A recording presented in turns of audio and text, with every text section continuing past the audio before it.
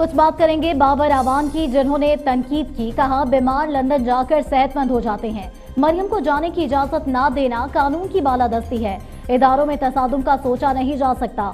Musharraf case پر حکومت آئینی اور قانونی طریقہ اپنائے گی۔ اقلیتوں کی نسل کشی پر اقوام متحدہ میں بھارت کی رکنیت معطل کی جائے۔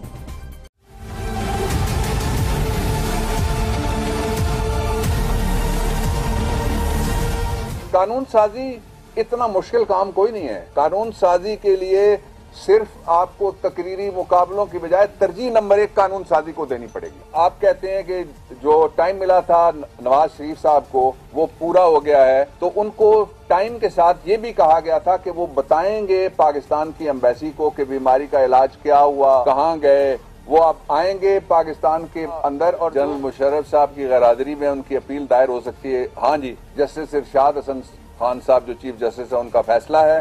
غیرادری میں شہید بی بی کو سزا ہوئی تھی۔ غیرادری میں اپیل گئی۔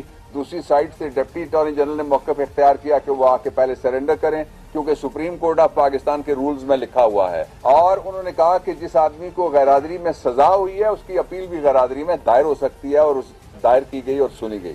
پاکستان تحریک انصاف کی قانونی ٹیم کہ بھارت کے خلاف جو یو این کا چارٹر ہے، اس کے چیپٹر ٹو کا آرٹیکل سکس لگایا جائے۔ اور اس آرٹیکل سکس کے ذریعے سے اقوام متحدہ فوری طور پہ بھارت کی رکنیت معطل کر دے۔